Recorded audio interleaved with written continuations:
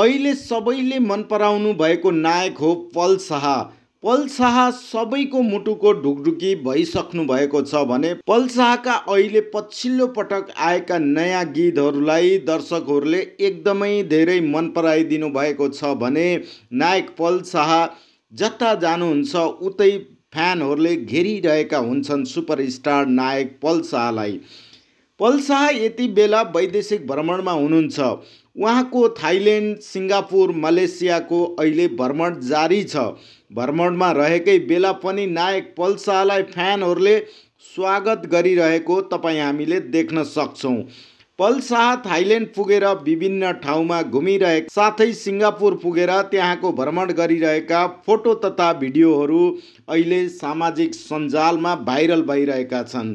नायक पल शाहलाई वैदेशिक भ्रमण आरामसँग सफल होस् हाम्रो शुभकामना यही छ। फेरि तपाईँहरूलाई अर्को भिडियो लिएर उपस्थित हुनेछौँ दर्शकवृन्द। अहिलेलाई नमस्कार।